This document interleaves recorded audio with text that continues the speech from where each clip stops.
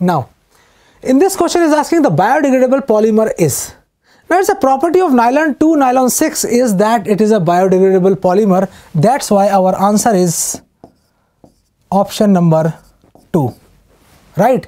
Let's move on to the next question. Now, in this question is asking the pH of the saturated solution of calcium hydroxide is 9. The solubility product that is KSP of calcium hydroxide is. So we have to find out the solubility product, right? So let's move on to the solution. So the solution is first we have to write down the equation CaOH whole twice the calcium hydroxide it breaks into or you can say it dissociates into Ca2 plus plus OH minus that is 2 minus and since it is a weak base that's why equilibrium sign is here right? Now what's given to us?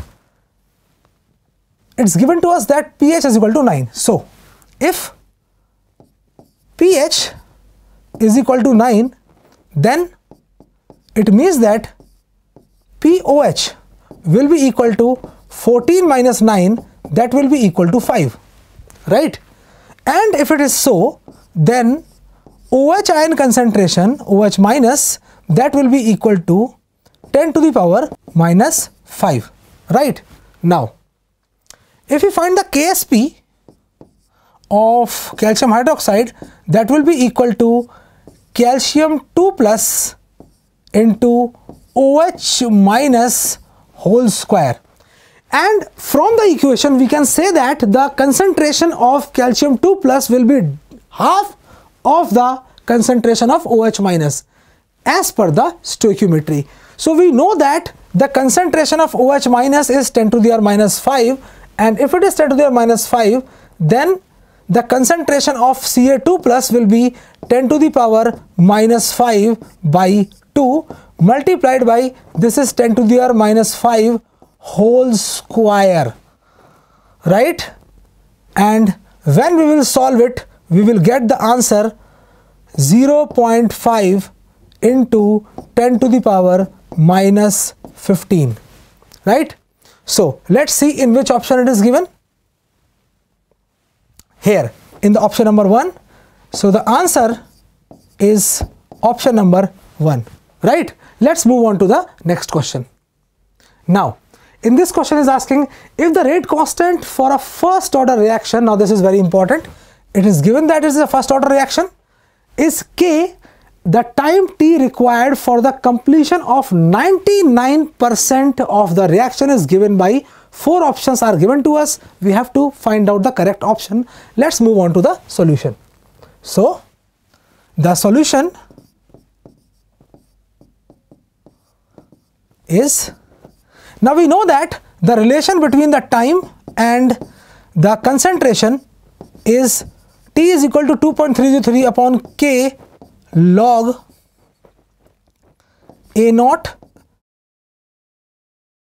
upon A right now we have to find the value of time and it is 2.303 upon k log.